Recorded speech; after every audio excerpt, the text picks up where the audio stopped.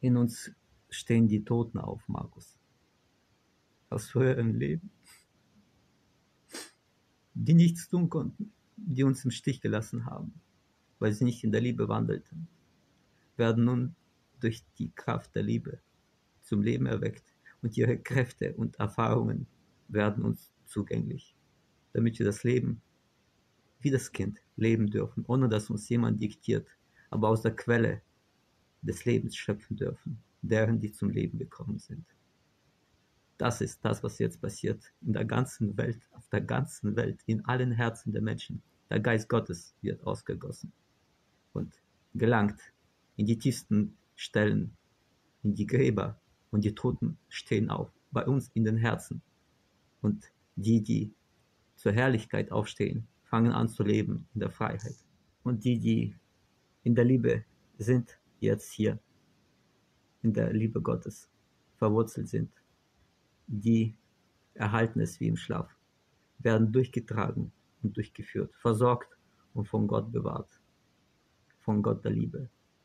Es sind Menschen aus allen Religionen, aus allen Dominationen, aus allen Völkern, eine Schar von Gläubigen an die Liebe und praktischen Liebestätern, die die Welt verändert haben, durch ihre Gebete, durch ihre Nächstenliebe, durch ihren Glauben, durch die Hoffnung, die sie hatten und durch das heilige Wandeln, den Weg der Liebe. Nur die Liebe zählt.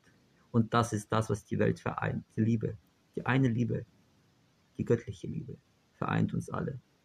Verstehst du, Bruder? Und das ist jetzt, was passiert. Jeder erlebt es auf seine Art und Weise. Aber wir sind miteinander verbunden, verbunden und sind miteinander eine Einheit geworden. Alle. Ob wir das fühlen oder nicht, ob wir das wahrnehmen oder nicht, viele sind noch viel zu beschäftigt. Man sagt, man sagt dazu, sie schlafen noch.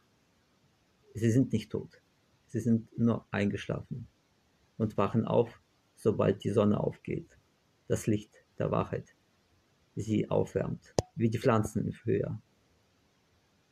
Wachen die Menschen auf und fangen an, ihre Früchte zu geben, ihre Früchte zu bringen. Jeder, die, die er hat, nach der Qualität und nach dem Leben, das er gelebt hat. Das sind die Zeiten, die wir jetzt erleben, mein Bruder. Deshalb dürfen wir stolz und glücklich sein, dass wir die Liebe in uns tragen und die Liebe bereit sind, auch an andere weiterzugeben.